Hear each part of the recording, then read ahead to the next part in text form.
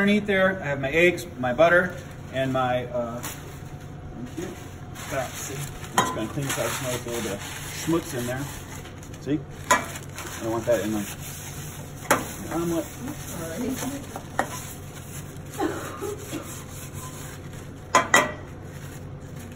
I don't know what this pan was used for.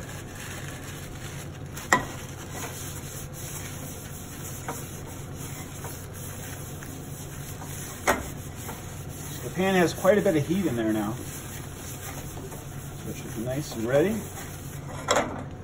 And um, so I'm just gonna put butter in there, pour the eggs in, and then I'm gonna start doing this. And so chopsticks are the, the great way to do it. Now, one year the TAs, they found out that I like, you know, Star Wars and that kind of stuff. And, you know, I named my son Luke, so it's kind of like, and so they got me uh, these uh, chopsticks. Shut up, I have those. So they're kind of fun. And uh, so now I'm going to show you how to make a Star Wars omelet.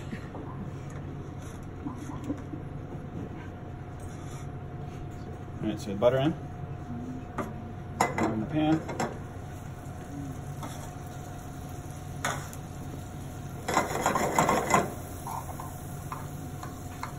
Butter's melting. Get it all the way around. That's okay, you did good. I was timing it with you. All right, so then turn the heat up a little bit. So you want to wait till your butter fully froths and almost stops frothing. How hot should the pan be? Um, medium, medium high, right? Because you're going to put a lot of cold in there right away, and then you're going to start moving it around. So you want some, you want some good heat in there. Okay, so now the butter stopped frothing.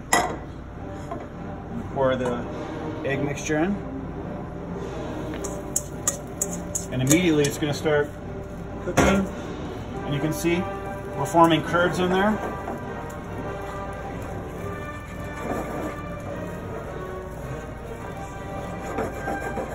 Should be pretty quick.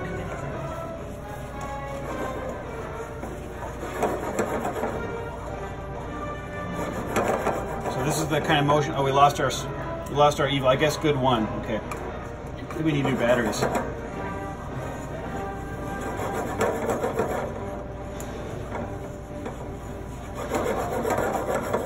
And then you want to stop at a certain point so that they can re-knit everything and go back together again.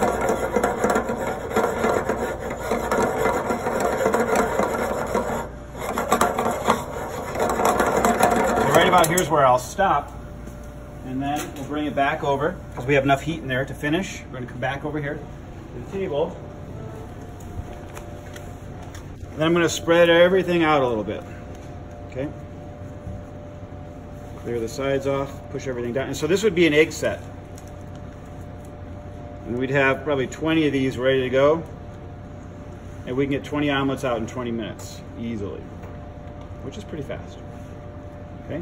So from here, we're going to add our cheese, a little bit of cheese. You guys like cheese? And this is pretty salty cheese, so I'm just going to put a little bit in. And you can put anything you want in here. I like to do a little bit of pain with the cheese, it's good. You can put uh, shaved truffles in here, lobster, whatever you want. And then, lobster omelets are pretty dang good.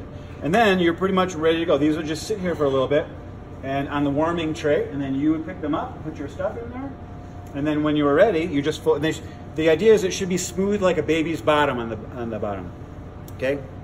I had my little five-year-old. We were uh, this morning. He was having a hard time getting dressed, so I helped him get dressed, and I gave him a little tushy tap. It should be as smooth like a baby's bottom in there.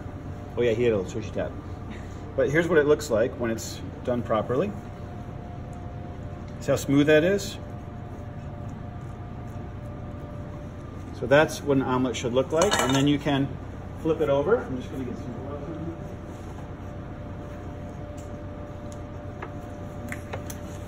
Let me touch it. And I'm going to give you a little secret too.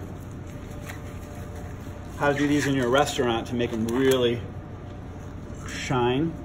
So from here, you just take your plate and you can just flop it over. And then you can reposition it with your hands. So this is a black pepper and pecorino omelet.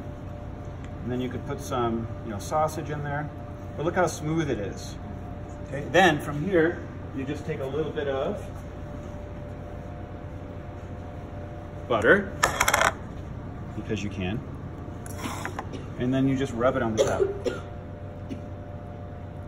And it just makes it glisten a little bit more when it goes out to the guest.